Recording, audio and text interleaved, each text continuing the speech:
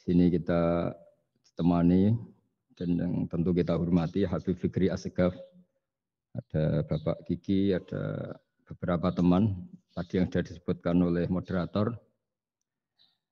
Eh, langsung saja sesuai tema bahwa kita akan menjadikan tauhid sebagai eh, sumber inspirasi bangsa atau sumber kekokohan bangsa atau sumber ketahanan NKRI. Perlu dicatat bahwa di antara yang sering disabdakan oleh Rasulullah Wasallam adalah Inna minal bayani lasikhron. Jadi penjelasan atau e, orasi atau argumentasi atau apa sajalah itu adalah bagian dari sihir. Sihir di sini maknanya itu sesuatu yang kayak kayak hipnotis, tapi di sini dalam konteks positif. Dulu ketika periode Rasulullah Muhammad Shallallahu Alaihi Wasallam itu pertarungan hak dan batil itu diolah pikir, olah pikir yang diterjemahkan oleh artikulatif atau sistem verbal. Memang ini agak aneh, jadi kalau mukjizatnya Nabi Musa itu fisik. Fisik itu misalnya melawan Fir'aun dengan kekuatan tongkat yang super dasar. Sehingga Laut Merah dipukul sama tongkatnya Fir'aun, kemudian tongkatnya Nabi Musa, kemudian bisa membelah jadi jalan Fir'aun tenggelam. Begitu juga nabi-nabi yang lain ada kekuatan fisik yang bisa dilihat sebagai mukjizat. Tapi ketika Nabi Muhammad Shallallahu Alaihi Wasallam jadi Nabi itu pertarungannya itu ke sistem rasional. Dan yang enggak rasional itu dijelaskan dengan satu penjelasan yang seakan-akan rasional. Ini yang agak jelimet. Sehingga ada walatal bisul haqqon apa? Bil batil. Jangan menyampur adukkan hak dengan batil. Saya beri beberapa contoh kejadian. Suatu saat itu ada orang kafir datang ke Rasulullah Shallallahu Alaihi Wasallam. Kemudian bertanya, ya Muhammad, jika kambing itu mati, mati mati betul, yang tidak disembelih, bangkel, itu yang mematikan siapa? Karena Nabi itu orangnya umi, umi itu lugu, ya yang mematikan Allah. Terus jawabannya si orang kafir tadi, agama kami itu aneh yang dimatikan Allah langsung haram, tapi yang lewat tangan-tangan manusia yang berlumuran dosa halal katanya. Sehingga terus jadi logika yang kok iya ya gitu. Harusnya yang dimatikan Allah langsung kan orisinil gitu. Sehingga orang terus terbelalak seakan-akan ini hebat gitu. Dan resikonya Nabi Habib Fikri, resikonya itu enggak boleh fahisan mutafahisan. Dorong Jawa Nabi ora oleh cangkem elek, itu resiko. Andai kan Nabi boleh cangkem elek enak, Nak halal ya pangan kon. Kalau itu baik ya silahkan makan ya. Tapi masalahnya Nabi tidak boleh seperti itu. Andai kan tidak Nabi kan gampang ya sudah kalau halal ya silahkan makan. Masalahnya Nabi tidak boleh apa? Enggak ah, boleh berbicara kasar, tidak boleh berbicara buruk. Terus ada lagi beberapa kejadian yang seperti itu, yaitu masyur suatu saat Sayyidina Ali didatangi seorang kafir juga Yahudi. Ali, kakimu angkat satu. Diangkat sama Sayyidina Ali. Angkat dua-duanya. Ya udah bisa. Gitu kok temanmu. Maksudnya Nabi Muhammad mengklaim bisa naik langit. Gitu aja kamu udah bisa. Jadi selalu pakai olah kata. Yang ketiga misalnya eh, Muhammad kita-kita ini punya urusan banyak, punya problem banyak. Dan Tuhan itu dianggap penyelesai problem, halul muskilat. Yang bisa menyelesaikan problem. Pertanyaannya, kalau problem kita banyak, Tuhannya satu tidak cukup Muhammad. Kalau problemnya banyak, ya Tuhannya harus banyak. Sehingga ketika Nabi membawa tauhid, protes mereka, komplain mereka, aja alal alihata ilahau wahida innaha adalah syai'un. Masa Tuhan satu, wong problemnya banyak, urusannya banyak. Kalau urusannya banyak, itu hanya harus Nah karena olah pikiran seperti ini, sebetulnya bukan olah pikiran ini, hakikatnya olah kata, karena ini tidak mewakili hakikat. Ya saya ulang lagi, sebetulnya ini bukan olah pikiran atau olah akal atau olah kecerdasan, tapi olah kata karena semua yang diomongkan ini tidak mewakili apa? Hakikat. Tapi faktanya itu terjadi. Sehingga mukjizatnya Rasulullah Shallallahu Wasallam itu tidak boleh berupa fisik kayak tongkatnya Nabi Musa atau tabutnya Nabi Harun atau apalah yang sifatnya fisik. Karena ini tidak menjawab kecerdasan-kecerdasan yang terimplementasi oleh kata-kata yang dikatakan orang-orang kafir tadi, yang bisa memojokkan orang-orang kafir. Akhirnya Nabi diwarisi kecerdasan, dikasih kecerdasan oleh Allah Ta'ala, yaitu yang dikatakan fatona. Dan mereka memang suka, mempermalukan Nabi itu suka. Misalnya Nabi karena sebagai Nabi beliau tahu betul bahwa semua itu biadillah di tangan Allah. Itu Nabi pernah ngendikan la adwa wala tiarota, tidak ada penyakit menular. Lalu ada orang Yahudi atau orang siapa saja, orang bodoh lah yang jelas ini. Ada onta yang kena penyakit gudik, kalau orang Jawa bilang gudik apa? Kalau orang itu apa? Kudis ini. Yang kena kudis ini dijejerkan sama yang waras. Ternyata yang waras sekarang jadi kudisan. Sewenang mereka karena bisa mempermalukan Nabi. Ya Muhammad, ini unta kena kudis. Ternyata yang waras tertular oleh yang kena kudis. Padahal kata kamu tidak ada penyakit apa? menular. Itu problem-problem jadi nabi di era Rasulullah Wasallam. Sehingga Quran datang dengan kecerdasan yang untuk menjawab itu. Makanya Nabi tidak pakai mukjizat fisik, tapi mukjizat logika. Akhirnya Nabi diajarin Allah lewat Jibril. Yang dikira mereka yakin kalau menang dalam debat. Tapi Nabi balik bertanya, Faman a'dal awala. Jadi terjemahnya, kalau ini kena kudis karena tertular yang ini, lalu ini tertular siapa? Yang pertama tadi. Wah itu asli mat dari Allah ya maksud saya itu. Jadi dia ingin contoh yang kedua yang tertular dengan itu berarti ada penyakit apa? Menular. Tapi Nabi tanyanya faman adal awal. Lalu yang pertama kena kudis itu tertular siapa? Makanya kalau sekarang misalnya corona menular itu yang pertamanya dari siapa itu? Tidak tahu itu. Ya tidak perlu tahu, tidak bidang kamu.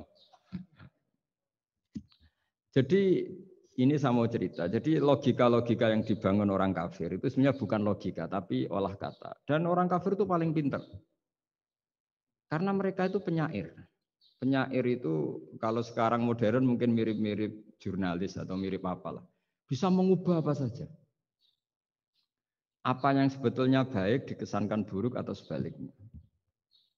Sehingga ini menyusahkan karena Nabi harus ngendikan hakikat, harus mengatakan sesuatu yang nyata dengan bahasa yang benar. Sementara mereka mengatakan kebatilan dengan penjelasan yang baik. Ini ribet kan? Sehingga dalam banyak apa percekcokan ya. Itu susah, susah dicari jalan tengah karena sama-sama mirip, kebenaran ini sama-sama mirip. Jadi misalnya yang masyur dalam satu peristiwa besar, konflik antara Sayyidina Ali dan Sayyidina Muawiyah.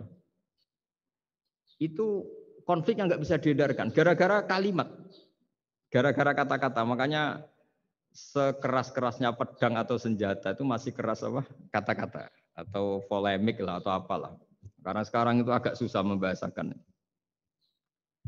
Ketika konflik Ali dan Muawiyah, itu ada orang bilang Ya sudah, nahkum bi kitabillah. Sudah sekarang kita kembali ke kitabillah. Itu mereka megang mushaf. Mushaf ini yang saya pegang namanya mushaf. Seakan-akan itu benar karena orang Islam harus kembali kepada kitab buah. Pertanyaannya lalu Ali kata Ali bal mushafa biyadihi. Sayyidina Ali nepuk mushaf ini keras sekali.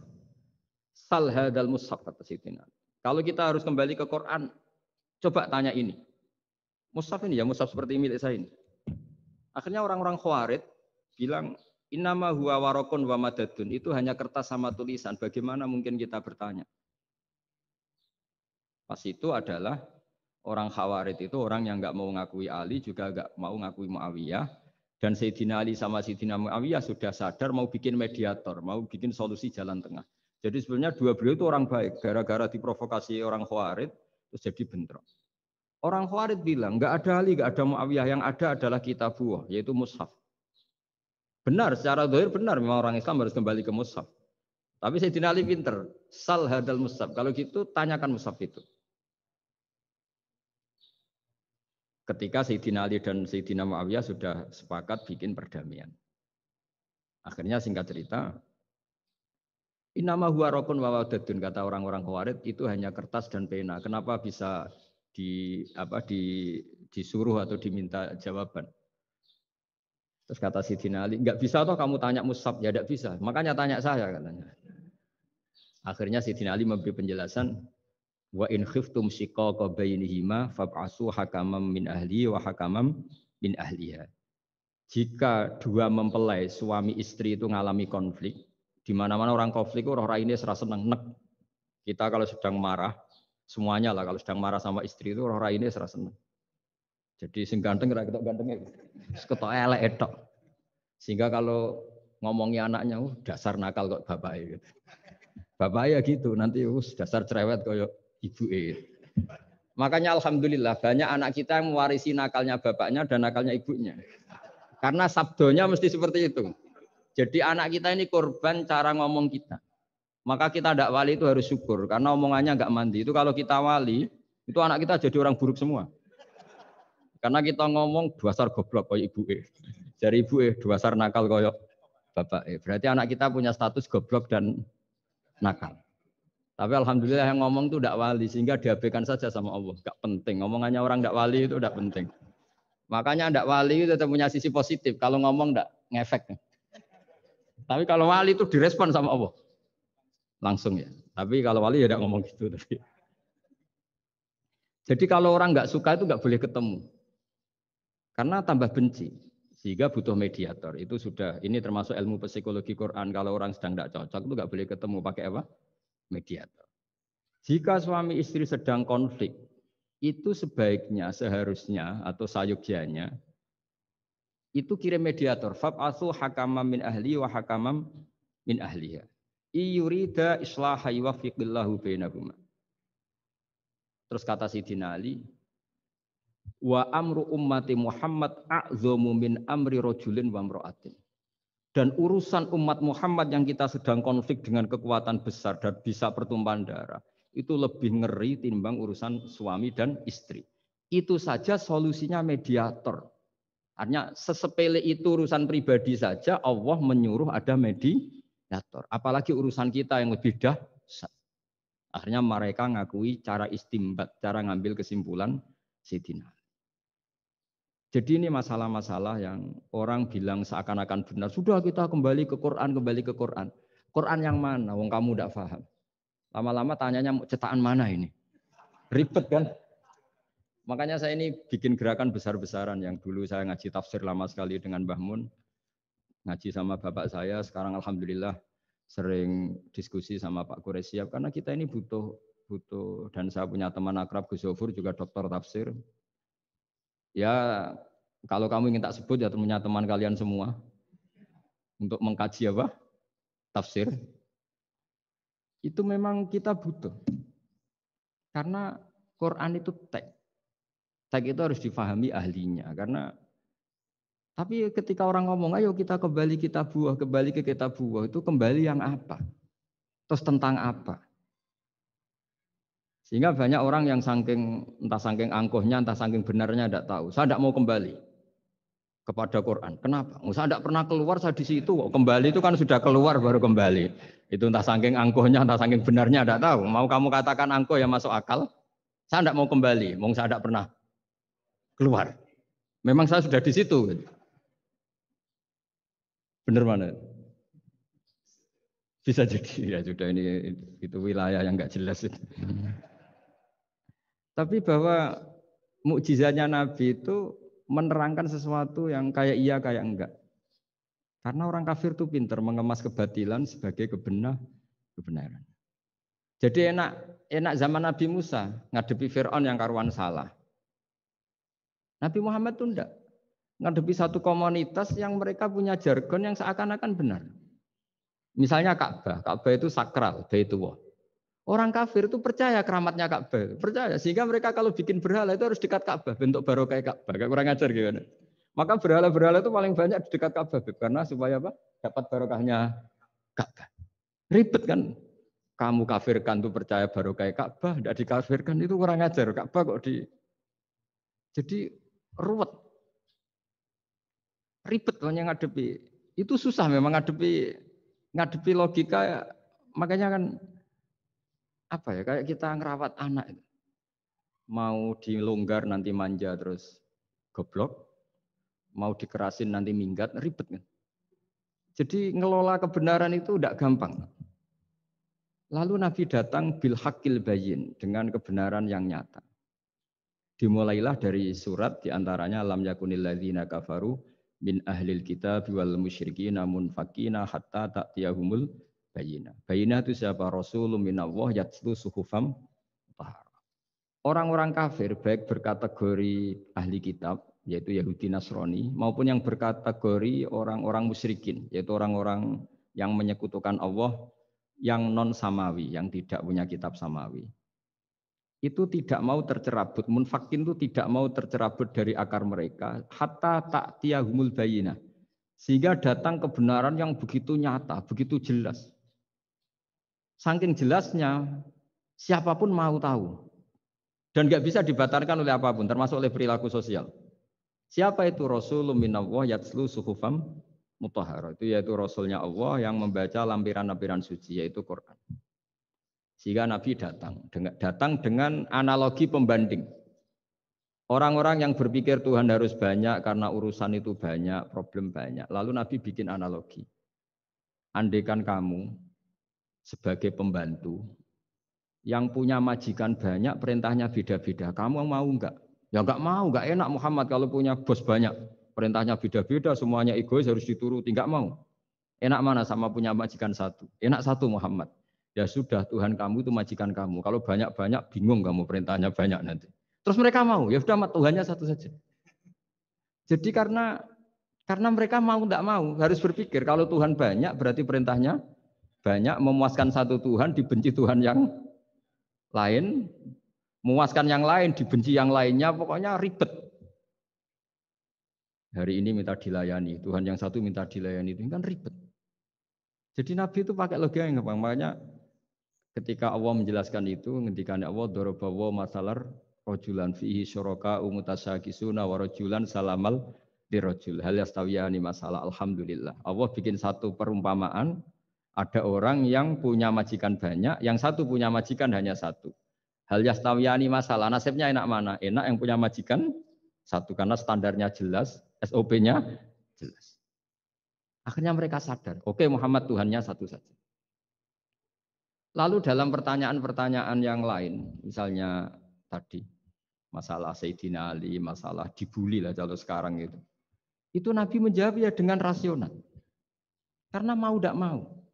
Karena Nabi tidak dibolehkan pakai mukjizat zaman itu. Untuk awal-awal jadi Nabi itu nggak boleh pakai mukjizat.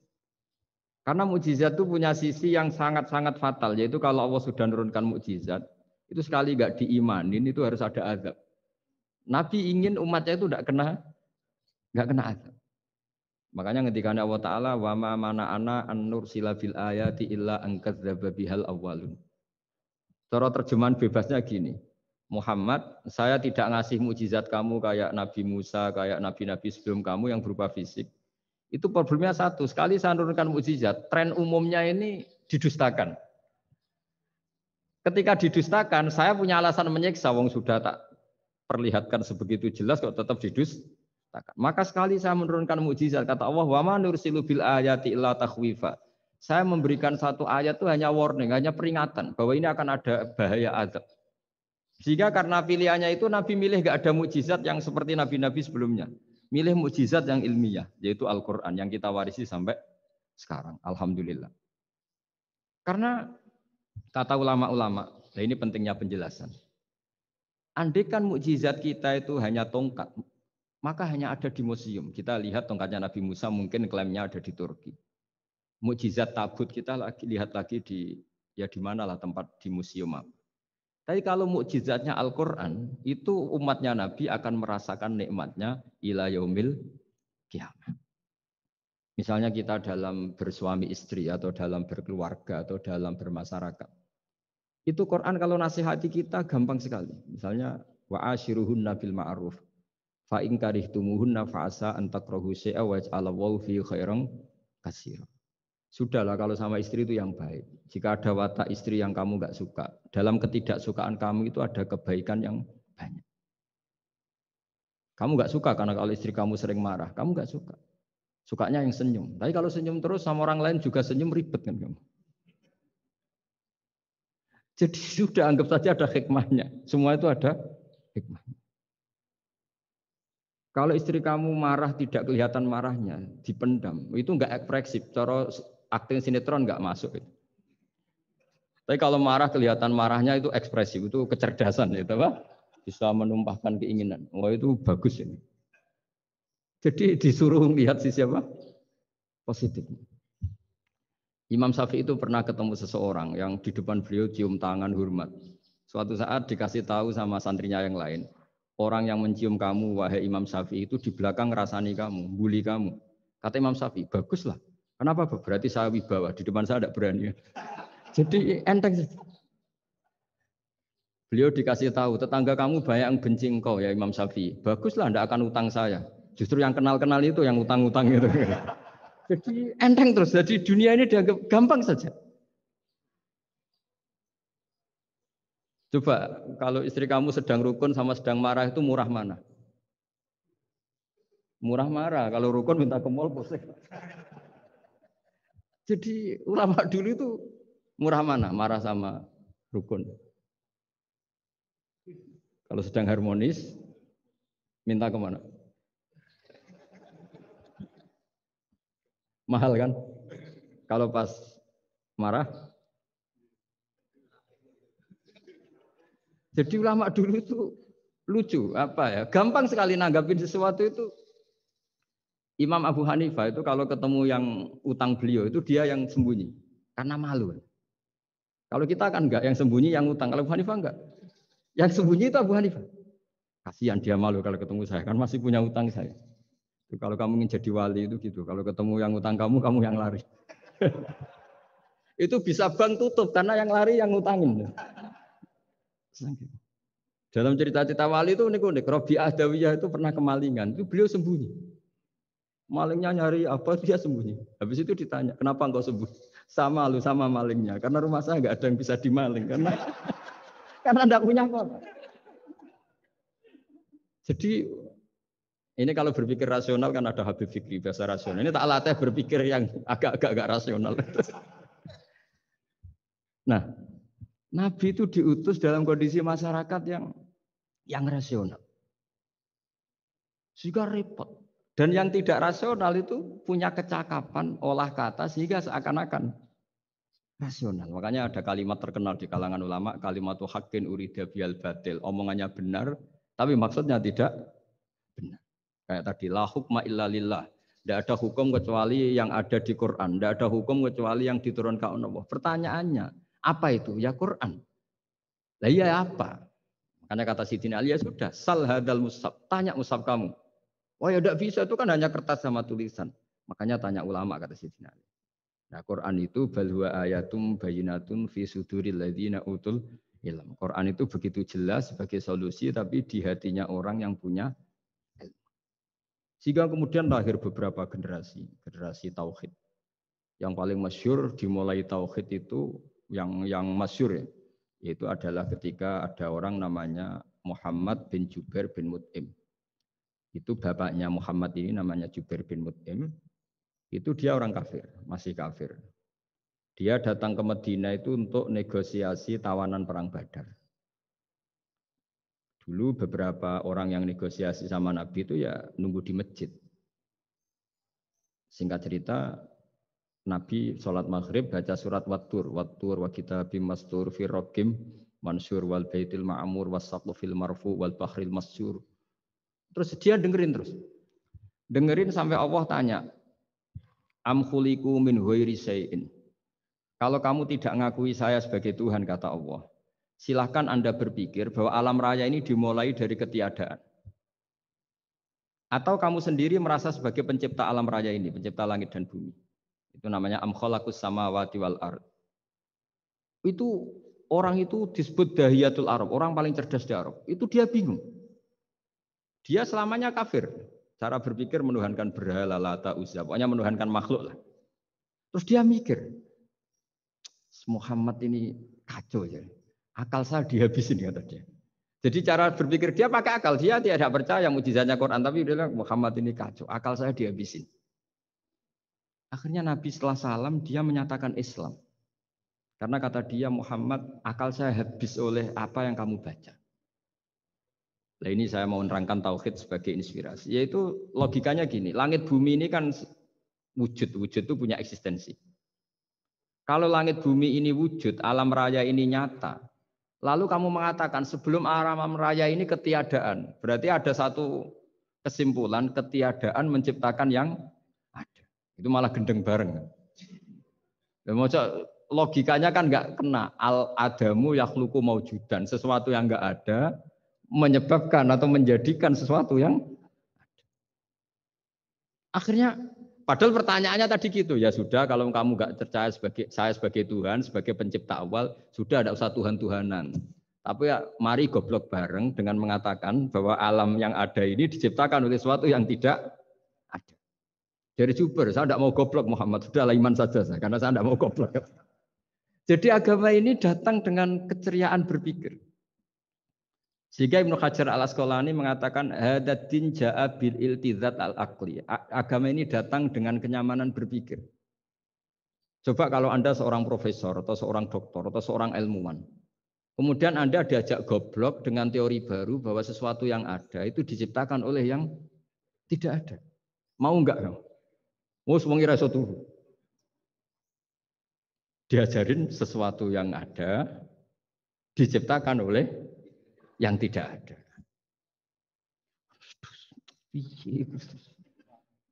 Gak, gak keren lah. Gak boleh. Jadi tauhid itu. Nah, kemudian lahir ulama-ulama baru yang cara ngarang sama. Ini kitab yang dulu saya ngaji sama Syekhina Kiai Memun Siber Bahmun. Itu kemudian ulama-ulama baru, kata Yai Mbah Mun itu juga bapak saya sering pesen, orang itu harus tahu zaman. Menerangkan tauhid itu kalau ulama dulu itu dimulai dari kalimat yang mungkin yang ngaji saja bingung. Al alam mutawir, wa kullu mutawir, hadis la buddha mim itu sampean dengar mesti anggap jimat itu apa itu, itu doa apa gitu. Doa jalbu rizki apa apa gitu. Padahal itu logika. Tapi terus ulama-ulama modern itu ngarang seperti ini. Ini ada gambar. Ini kitab yang saya dulu ngaji sama Itu digambar seperti ini. Maksudnya digambar seperti ini gini. Penjelasannya gampang. Sampai kalau gambar seruat apa pun, misalnya gambar gedung tingkat lima atau gambar gunung atau gambar apa saja. Buat seruat apa pun gambar itu dimulai dari satu titik. Tadi hadhil awalim kulluha bahwa alam semua ini dimulai dari nuktotil wujud, ada titik wujud. Dan karena ini wujud penyebab harus bersifat awal. Makanya Allah itu selain wujud harus bersifat al-awal. Kalau bahasa pondok al-qadim. Karena tidak mungkin yang menciptakan kemudian kalah dulu dengan yang diciptakan. Begitu juga Imam Al-Amudi. Imam Al-Amudi itu jadi wali itu karena dia ahli matematika.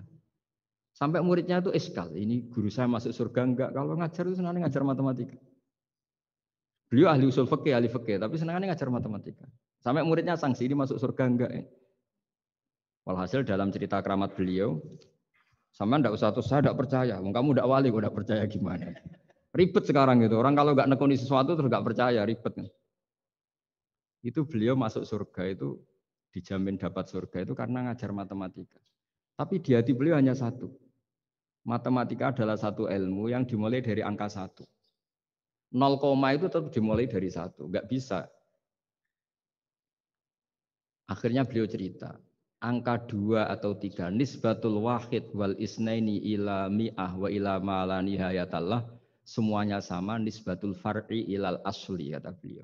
Bo angka dua, tiga, seribu sampai satu miliar itu perbandingannya dengan angka satu apa hubungannya? Al far'i ma'al asli yaitu angka dua tiga adalah cabang dari angka jadi alam raya sebanyak apa pun, ada galaksi, ada Mars, ada apa saja, tetap dimulai dari wujud yang satu, yaitu wujudnya Allah Subhanahu wa Jadi beliau menjadikan matematika sebagai alat perangkat untuk tahu tauhid bahwa alam raya ini dimulai dari al wujudul wahid wujud yang satu. Makanya kul huwallahu ahad. Allahu somad terus lam yalid walam yulad dan seterusnya makanya ketika orang menyoal hukum adat yang menipu kita adat itu sunnatullah yang yang kita lihat itu Quran mesti mengembalikan bahwa ladzi yabda'ul khalqa tsumma yu'idu wa huwa ahwanu alaih. Sebagian di surat Yasin diterangkan ansa'aha awwala marrah. Ketika kita lama sekali, namanya manusia itu lahir dari seorang bapak dan ibu. Ini lama sekali. Yang namanya telur itu lama sekali lahir dari ayam, apa keluar dari ayam. Yang namanya pohon besar itu mesti dari biji yang kecil. Karena lama itu terjadi seakan-akan kita ngomong, kita berkeyakinan, tahu-tahu ada pohon besar itu muhal. Tahu-tahu ada manusia ini muhal. Makanya ketika ada figur yang bernama Isa, Isa bin Maryam, itu orang kafir Yahudi itu menolak. Bagaimana mungkin ada manusia tanpa bapak? Oke, itu menyalahi prosedur lazim, protap lazim. Tapi kata Allah gimana? Inna masalah Isa inta wohi kamasali Adam. Kalau Isa mohal karena tanpa bapak, harusnya Adam lebih mohal karena tanpa bapak, tanpa ibu. Jadi artinya apa? Allah tetap mengingatkan bahwa kudro saya yang pertama itu menjadikan semuanya mungkin tanpa perangkat adat. Maka kitab ini yang saya baca ini, milik Said Hussein Afandi ini, itu menjelaskan bahwa hukum adat itu menipu. Saya ulang lagi, hukum adat itu menipu. Ketika ayam mengeluarkan telur. Telur kemudian menjadi ayam lagi. Terus kita berdebat, telur sama ayam dulu mana? Menurut Anda milih mana? Milih apa? Telur. Kalau ini yang kubu sebelah ini. Ayam apa telur? Telur. Ayam. Ayam lahir dari Nah, pertanyaannya begini kalau menurut tauhid. Ketika lazim kalau telur itu nanti suatu saat jadi ayam, terus ayam kemudian lazim mengeluarkan telur. Ketika Anda mengatakan mungkin kontribusi Anda terhadap kemungkinan itu apa? Kan sama, Anda tidak ikut menciptakan. Wong tidak ikut menciptakan kok menfonis mungkin tidak mungkin. Kamu itu hanya saksi. Makanya pertanyaannya Allah, lo ketika itu kamu anggap mungkin, kontribusi Anda itu apa? Kan hanya melihat. Kamu sendiri tetap tidak mampu bikin telur, Anda juga tidak mampu bikin ayam. Artinya meskipun telur jadi ayam, ayam jadi telur sampai kiamat, tetap ada kontribusi kudrohnya Allah Subhanahu wa taala. Bukan berarti berdiri sendiri wong kamu yang bilang mungkin ya nyatanya enggak berkontribusi. Sehingga kalau suatu saat Allah bikin telur dari batu, atau ayam keluar dari batu. Bagi Allah itu enggak masalah. Tapi bagi kamu masalah. Bagaimana mungkin hewan keluar dari batu? Ini logikanya gimana? Lo memangnya ketika telur dari ayam itu logika kamu gimana coba? Kamu ikut bikin enggak? Nah ini di sini pentingnya mukjizat. Akhirnya Allah bikin mukjizat ada satu onta besar keluar dari batu, yaitu mukjizat Nabi So. Kamu memasalahkan, ini gimana onta kok keluar dari batu? Lalu kalau Allah tanya kamu, gimana telur keluar dari ayam? Loh ini biasa Gusti mungkin, memangnya kamu bisa. Berarti bagi orang yang tauhid, yang wali, keluarnya ayam dari telur sama onta dari batu itu nisbatnya sama. Sama-sama semuanya di luar kontribusi kita. Kenapa yang satu kamu katakan mungkin, yang satu kamu katakan tidak mungkin? Toh kamu sama-sama tidak terlibat. Itu cara berpikir tauhid. Artinya apa? Orang-orang wali atau orang-orang alim, meskipun melihat telur keluar dari ayam tiap hari, tetap subhanallah, subhanallah, Allahu Akbar. Karena ini keajaiban. Tapi kamu kamu kan enggak tahunya ajaib itu yang aneh-aneh itu. Makanya banyak cari kiai aneh yang gondrong, yang enggak pernah mandi, ya gara-gara kamu itu suka aneh itu gara-gara. Dong ini ya. Dong itu tahu ya. Jadi buat sesering apa pun alam raya ini ada siklusnya. Biji jadi pohon, pohon kemudian keluarkan buah, buah ada biji. Semuanya yang berkontribusi hanya kudrohnya Allah Ta'ala. Tidak mengikat Allah. Allah bisa bikin tanpa itu semua. Makanya Allah selalu memperbarui mukjizatnya. Termasuk ada onta besar keluar dari batu. yaitu mujizatnya Nabi Soleh. Kamu nggak boleh menyoal ini mohal, mohal gimana? Karena itu nggak mungkin. Ukuran nggak mungkin apa? Kamu nggak bisa bikin kan? Sama telur keluar dari ayam kamu bisa bikin. Sama-sama enggak. Nah di sini pentingnya ngaji ya. Makanya Allah ngendikan inna wuha la ayat ayyadriba masalam ma ba'udotan fama fokoh. Allah itu tidak malu bikin contoh nyamuk. Karena nyamuk ini mujizat yang besar. Sudah hewannya kecil, di situ ada ususnya. Ususnya ada uratnya. Coba kalau kamu bikin nyamuk itu. Kalau yang santri agak nakal itu ya ada alat kelaminnya, ada uratnya. Coba jenengan bayangkan nyamuk kecil kan? Itu ada uratnya enggak? Ada, ada ususnya, ususnya ada uratnya. Uratnya ada bakterinya. Pusing kan kamu? Jadi sebetulnya ayat Allah yang dasar itu bukan dinosaurus tapi nyamuk. Bikin uratnya dinosaurus masih gampang, hewannya besar paling uratnya segini. Itu pesan di Juana bisa lah. Tapi kalau pesan organnya apa? Nyamuk. perutnya seberapa. Sudah gitu dia di dalamnya ada calon anaknya. Lebih kecil, banyak lagi jumlahnya coba. Nah ini agama ini datang dengan akal. Jadi kelihatan ada mukjizatnya Quran karena menyontohkan nyamuk. Dan kelihatan mukjizat kalau dijelaskan pakai logi, logika. Itu kayak apa susahnya bikin nyamuk. Sudah kecil, ada organnya, organnya ada uratnya, uratnya ada kumannya, kumannya ada uratnya, Pusing enggak? Makanya tidak ada kampus yang siap memaklumatkan diri sanggup bikin nyamuk. Karena ya nggak sanggup tadi. Lah itu mukjizatnya Quran. Jadi agama ini ketika ulama-ulama ja'a bil iltizazil aqli. Agama ini datang dengan kenyamanan berpikir. Makanya kita nanti kalau mau mati itu yang seneng saja. Kita tidak tahu caranya hidup, tahu-tahu lahir, tahu-tahu hidup, tahu-tahu punya hutang, tahu-tahu banyak masalah, tidak tahu kita. Nanti kalau mati juga gitu, nggak ingin mati tahu-tahu mati. Nanti nggak tahu tahu bangkit. Makanya sudah alihah nahya wa alihah namut wa biha nubasu insyaallah taala minal. Makanya kata si Ali kalau ada orang susah hidup, kamu lahir keinginan kamu apa keinginan Allah ya keinginan Allah. Kamu mati, misalnya orang frustasi ingin mati ya tidak bisa mati kalau Allah tidak menghendaki ya tidak mati. Ya sudah, zaman kita hidup ya tidak bisa mengelola kehidupan ini ya sudah kalau mati juga tidak bisa mengelola kematian ini. Makanya terus kita diajarkan inna solati wa nusuki wa mahyaya wa mamati lillahi rabbil alamin. Berhubung kita tidak tahu ya sudah hidup kita, mati kita semua di tangan Allah. Sudah kita pasrah saja. Nah, jamnya mati, es mati aja, serasa pamit, sudah mati aja, sudah gak ribet. Makanya wali-wali itu ya biasa ngelihat kematian itu. Bukan karena yakin pasti masuk surga ya enggak. Kata wali-wali itu di dunia itu hanya Allah yang ngurusi kita ya Allah nanti di akhirat ya sama. Itu tauhid ya. Jadi saya ulang lagi ya, jangan terjebak hukum adat. Karena dalam hukum adat itu sebenarnya Anda tidak aktor tapi hanya saksi. Yang namanya telur keluar dari ayam, ayam mengeluarkan telur. Tapi sebetulnya ini tidak mengikat. Allah bisa saja bikin hewan dari yang lain. Kayak tadi mengeluarkan untanya Nabi Soleh dari batu yang apa? Besar. Ya wah itu mokal, bagaimana mungkin? Nah memangnya ayam jadi telur, telur jadi ayam, Anda ikut berkontribusi kan enggak? Andai kan Anda menyaksikan kudrohnya Allah Ta'ala di semua kejadian, yaitu Allah bisa bikin nyamuk, nyamuk ada organnya, organnya ada uratnya. Dengan reputasi seperti ini, maka kita akan mensifati Allah, innahu ala kulli syai'in qadir. Bahwa Allah bisa melakukan apa saja. Wa huwa ala kulli syai'in qadir. Diulang-ulang. Sama Indonesia yang sekarang seperti ini, yang kata orang ada yang bilang terbelakang, ada yang bilang tertinggal dari Eropa. Mungkin dalam kudrat tua untuk bikin Indonesia lebih makmur dari sekarang. Bisa mengalahkan negara-negara yang jadi kalau kamu ingin, tapi Indonesia banyak masalah gini-gini, bagi Allah mudah saja menyelesaikan masalah.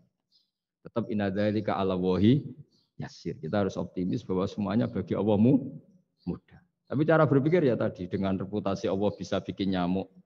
Nah nyamuk sulitnya di mana ya tadi? Sudah kecil, punya organ, organnya punya urat, uratnya punya bakteri, bakterinya punya organ, organnya bakteri, mungkin ada bakteri lagi. Pusing kan? Ya jangan nggak usah dipikir kalau pusing. ya jadi terus yang terakhir saya mohon kalau baca Quran sebisa kita ada yang diangen-angen. Jadi Allah kalau mendorong kita mengakui eksistensinya Allah, Allah sering ngendikan yang mudah-mudah. Misalnya Uh, saya ini yang menciptakan kamu, saya yang menciptakan kamu. Falau latu sodikun, sudahlah, saya ini nahnu naku. Saya ini pencipta kalian, bu ya oh. Hubungan kamu itu dengan saya. Urusan kamu terdekat itu dengan saya, kata Allah, bukan dengan yang lain. Karena saya yang menciptakan kamu, kata Allah. Tapi kita ini aneh, jadi manusia itu aneh. Dengan dat yang menciptakan kita tidak punya urusan, dengan yang tidak terkait dengan kita, kita punya uru. Itu kan aneh. Dan Allah kalau menerangkan itu gampang. Terus bagi manusia yang kumoluhur, yang angkuh, seakan-akan bisa menentukan segalanya. Falola in kuntum ghaira madinin tarji'unaha in kuntum shadiqin. Kalau kamu orang hebat, Bu ya, oh, ketika nyawa kamu mau keluar tuh kamu tahan supaya tidak kamu nggak jadi mati. Nggak keren kan orang hebat kok mati katanya. Kamu sombongnya kayak gitu seakan-akan bisa ngatur dunia, menaklukkan dunia. Ternyata kamu mati. Harusnya nggak usah mati dong. Kata falola in kuntum ghaira madinin tarji'unaha in kuntum shadiqin. Makanya falola idza balaghatil khulqum wa antum khina idin tangdur. Bu ya orang-orang yang keren, yang merasa hebat, yang biasa ngatur dunia, bu ya ketika mati itu jangan mau. Ya, ya ini, ini sensitif wilayah.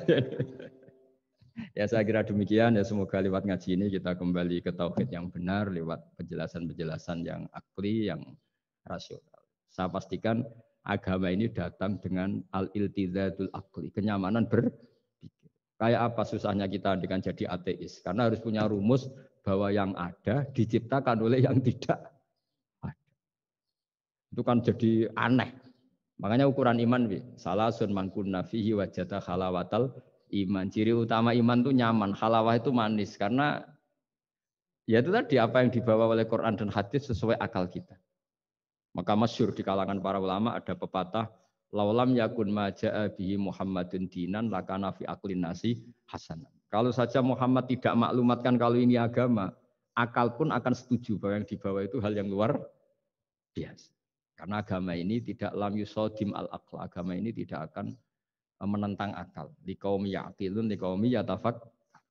Kalau ada orang bilang akal saya itu menolak faham agama, itu akalnya yang perlu dicek.